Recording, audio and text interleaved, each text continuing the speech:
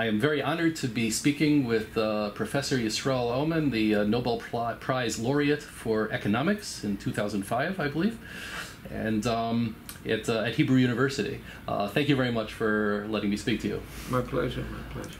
The um, I, I, just want to again. I'm certainly not an expert or even a novice at, at game theory. Um, so my uh, I just uh, was looking up a couple things, but I do have a couple of questions that I was I was curious about. If I may quote Wikipedia, it said that uh, game theory is, uh, I assume it's rel- relatively accurate, um, mathematical models of conflict and cooperation between intelligent, rational decision makers. I've seen that you've used, you've talked about game theory and you've tried to apply it to the Israel's politics, specifically uh, the Gaza withdrawal and other things. Um, why do you assume that the other side is rational? Most people are rational. Uh, the word rational um, is uh, used differently here in the Center for the Study of Rationality at the Hebrew University uh, than it is in everyday discourse. Um, in fact, we use the definition of rationality, the same definition that is uh, prevalent in economics. Uh, a rational person is one who pursues his goals uh, to the best of his uh, information. And uh, given the information he has, he pursues his goals. That's all. Uh, you ask about rationality, I think just about everybody, unless he is mentally um, disturbed or ill, mm-hmm. pursues his goals given his information. That I mean, that is the meaning of the word goal. Yeah. Okay. So we we had better take into account uh, that people are pursuing their goals. The point of game theory is uh, that uh, it's not it's not pursuing our goals. Okay. So when uh, people used to say that uh, Ahmadinejad is uh, not rational, okay? Right. But he is rational. That's not true. He's not. He doesn't pursue our goals, but he pursues his goals. Okay. Right. Mm-hmm. So that's what that's what game theory is all about. It's about in the interaction of uh, um, uh, the interaction of different entities who are pursuing their their goals and not and the goals do not our goals. The goals okay? of the actors don't have to be consistent with each well, other. The, of course, the goals are usually very often. Uh, very often they are not not only not only different but really inconsistent, as you say. Yes, that that happens too often. So you could have goals that are consistent but still different. For example, when you're uh, selling a, a house, then you your goal is to sell the house and get as much money for it as you can. And the buyer's goal is to buy the house and to pay as little money uh, for it as he can. Okay? So those goals are different, they're not the same. But they're not inconsistent because uh, in the end, some price will be paid and uh, you know, unless the negotiation fails.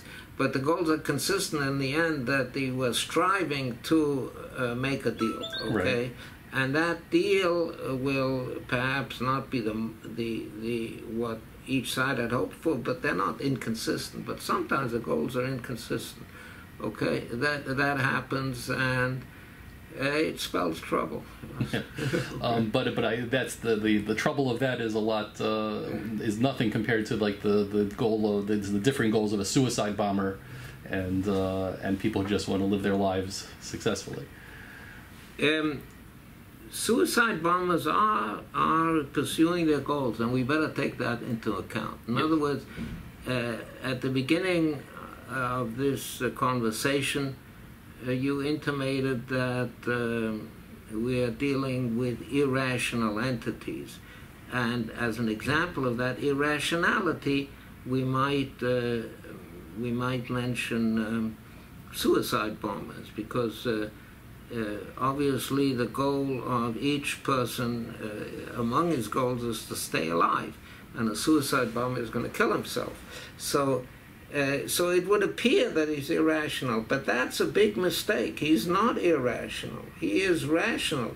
He is pursuing, he or she, by quite a few of the suicide bombers are women, um, he or she is uh, is uh, rational because he has a goal beyond his own life, and many of us do. Yes, uh, Hannah in Shivat Banea had a goal which was be, uh, beyond saving herself or her children. Yes. Yes. Uh, and we better realize that. In other words, we better say not say that those people are crazy. Um, uh, they are pursuing goals which are, in a way, noble. Okay, they are willing to sacrifice themselves.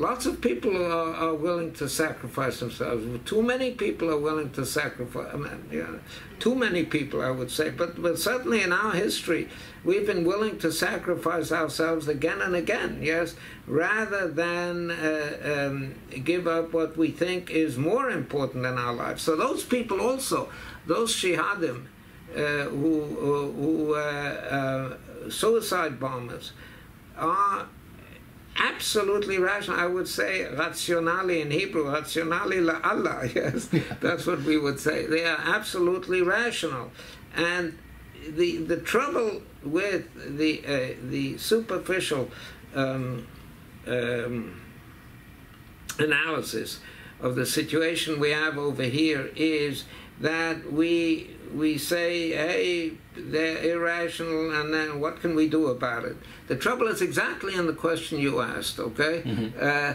that uh, that we think we we when you attribute irrationality to other people, then you have to throw up your hands. You, you don't know what to do, okay? Right. But no, they're not irrational. They're rational. They just have different goals from what we do, and those goals are very sincere and very uh, strongly held, and uh, um, and we better take that into account, okay? When we uh, when we um, uh, devise our strategy. Okay.